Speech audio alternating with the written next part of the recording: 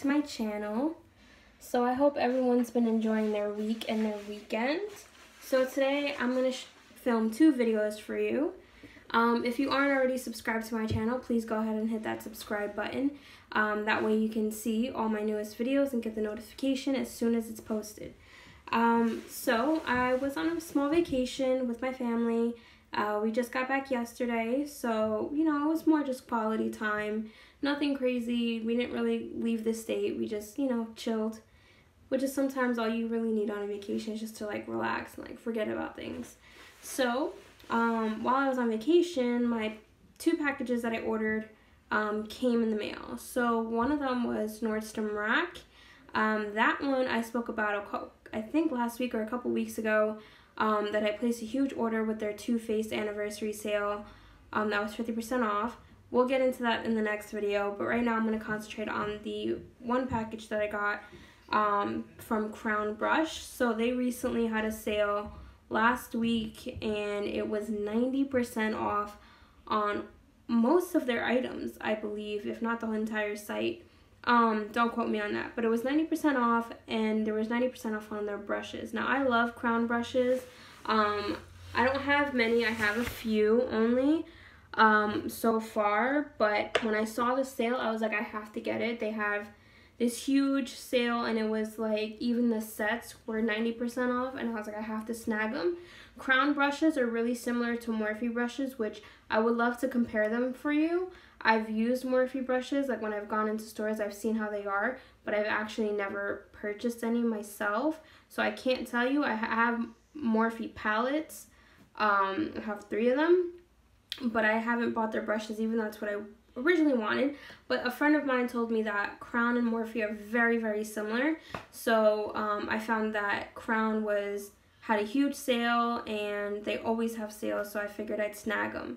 So it came in a regular package, um, and it's kind of heavy. I got this set that came with 35 pieces, um, because like, why not? I mean, might as well get the one that has the most in them.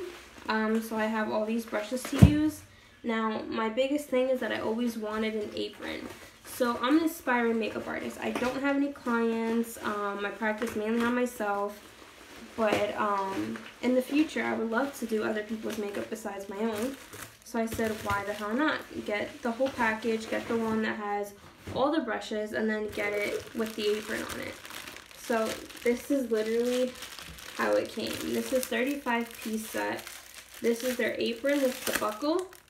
Um, and then this is 35 different brushes. So I'm really excited that all these came. I have brushes already, like tons. I have like three of these um, filled up. But you can never have too many brushes. And a true makeup girl would know that. You, there's never too many. Um, so I'm like really excited to see how these are. I'm not gonna like I don't know. I'll see if I can open every single one of them up. I'm not going to know definitely the difference, but they do have names on some of them. Um, this one is called the uh, BK6 Flat Bronzer Brush. So I love Crown because even though they're uh, they're synthetic, as you can see, like a few of them have loose uh, hairs here, which is fine. You know, you just trim them off or pull them out, whichever ones are loose. Um, I like that they're soft. I had gotten a crown brush from one of my Ipsy bags in the past, and I was like, ooh, I have to get this. So this to me looks very similar, like another flat bronzer brush, except a little bit larger. You could see in the bristles there that this one's wider. Um, let's see, and then this one I would consider very similar, but smaller. This is more like a kabuki brush, I would assume. So you have three different sizes. You can see here those. Um, this is a pointed dome. Here. So this is their pointed dome. What is it? BK2. We have another dome here. This is this is a mineral powder. So this is like if you have like a mineral powder foundation you could use this brush. So some of them have names on it, some of them don't. Um, what's good about them is that, uh, you know, you have these names so that way you can, it makes it easier for an artist to know what goes mainly with what, like what you could use it for. Although you could use any brush you want with whatever you want, um, if that's what's easiest for you, but it helps when you have the specific brush that's meant for what it's for. Um, so this is the Crown uh, Deluxe Kabuki fan brush. I've never had a fan brush, so I'm really excited. This is usually meant for highlighters because, as you see, I have highlighter on. This is the Fancy highlighter. Um, it would just brush along the side like that. So it's like a nice fell swoop. It makes things a lot easier. This is the Angle Lash Brush, which, you know, I feel like everyone has like a million and one of these. So you could use this for your brow, you could use this for your lashes, whatever you like. Sometimes you can use the comb to comb out the lashes so it gets rid of some clumps. then you have the brush that you can use for the brows. So that's always good. This looks like another pointed dome, just a, a little bit larger. And we have even a larger one here. So there's a few repeats just in different sizes. So this is a large pointed dome. Um, not really positive what you would use this one for. Maybe for a translucent powder, something that could cover a mass amount of surface. Or you could dry brush a face with this. I think that would be ideal. Um, and this one's large too. This is like really nice. I like the feel of them. They're really, really soft. Um, once I try them all out, which I probably won't be using all 35 anytime soon, but you know. This is an angled blush brush. This is BK32. So it's angled. This is just to kind of get the same effect like the fan does it all the way up here, but for the blush you really just want it on the cheekbone. So an angled brush really helps with that. And um, this is item number BK26. This is a chisel powder, a deluxe chisel powder brush. Um, so we have that. Um, let's see, what else do we have here? We, this one doesn't say, but this one is usually a foundation brush. I have a few of these. I have one from Mary Kay that I had from years ago. Very similar shape. This Mary Kay one is a little bit wider, but this one, same idea. You know, it's a foundation brush. You could mostly use it for. But like I said, if you have other ways that you want to use the, the brushes, by all means use it for whatever purpose you feel is going to work best for you. This is a deluxe soft fan, so it's this fan brush just like the other one, except this one's smaller. Um, I do see a few, I'm noticing a lot of bristles kind of being like out, like, you, I don't know if you guys could see that, there you go. So when the bristles are out like that, you know, you just trim them. Um, I'm not really going to be picky or nitpicky about it because the original product was $200 and I only paid, I believe, 30 bucks. So I'm not going to complain here. Um, this is an oval shadow brush. We have the round angle blender. So there's some of these brushes I've never used before. I've never even seen these shapes, but it's good to know that I have options that I can try things out. Um, this one's an oval shadow brush as well. This was just a little bit larger this one's kind of like the standard like packing brush that like ever since you were a little kid you get in like every makeup thing. so it's like that uh, um, spongy pad triangle shape that you get like with everything as you're getting anything with makeup. It always has it like with the eyeshadows. Um, this is the bullet crease. So this is a crease brush. That would be for right here okay? So you would follow your crease. Now the crease isn't necessarily in where when you when you go like this and you see your lid that's not necessarily the crease. The crease is the space between the brow and that. So that hump is the crease. Um and let's see what else do we have here? This is a blending fluff. So blending fluff is usually like a dry brush. You would use this as like a dry brush to kind of blend everything together.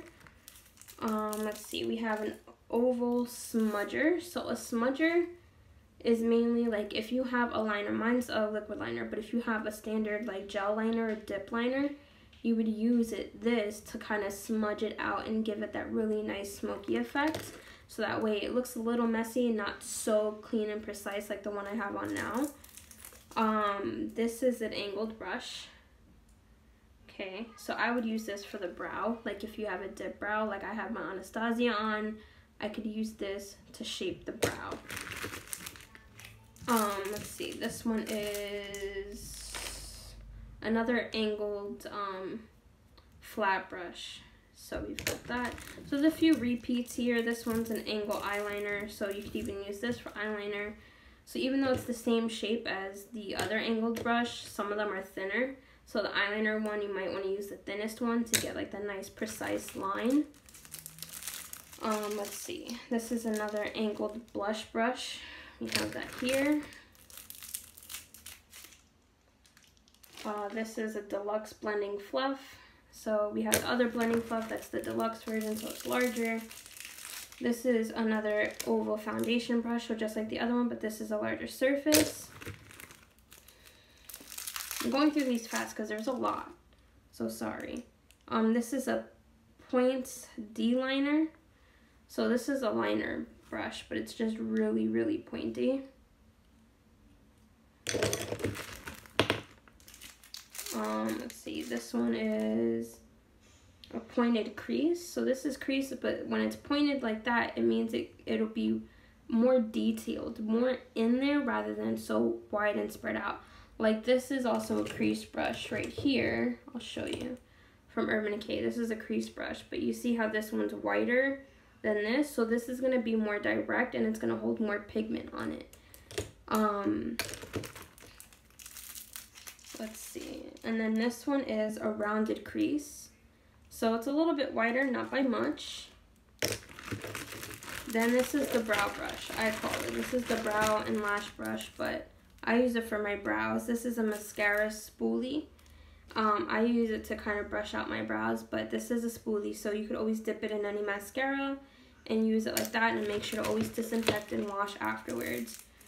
Um, this one is a deluxe oval lip, so this is for your lips.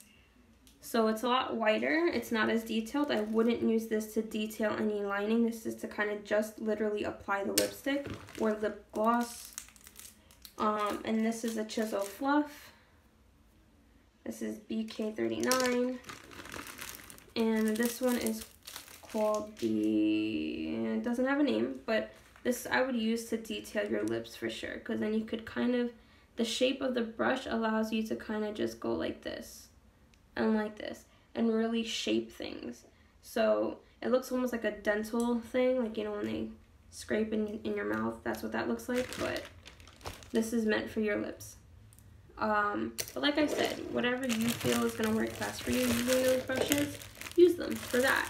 Um, and then it comes with the apron. So this apron's wide. It's very large. So we're going to open this up. Now, this is the Luna Badger um, 35 piece set on their website, crownbrush.com.